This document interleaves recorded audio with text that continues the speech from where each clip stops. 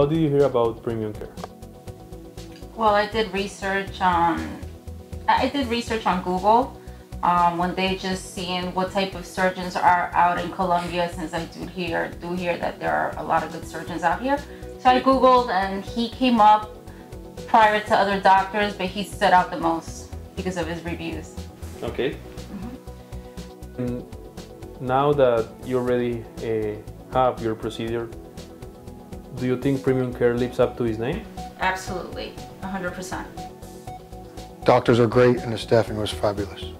The process, well, everything from beginning to end. Uh, when I sent my information in, I got an answer right away.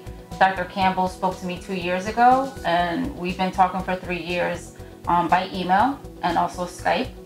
Um, when I arrived here, he knew the issues that I was going through and what I what my outcome was that I wanted as far as the surgery, and he listened. He took his time and he told me honestly what he could do and can't do. So, I mean, to me, it was honesty and just his patience with everything. Okay, great. That's nice to hear. And how was the, the day of your surgery? How you felt that day? Well, I was nervous traveling down here, but the minute I sat into Dr. Campbell's office, uh, the, the fear went away. The day of surgery, his wife, uh, Carolina Restrepo, I think it's called. Restrepo. Yeah, yeah. Um, she came to my aid. She held my hand right before they put the anesthesia in, before I fell asleep. She was talking to me. She made me feel very comfortable, um, as well as my husband. They make you feel at home. Not, you're just a stranger off the street from the time we walked in their office to today.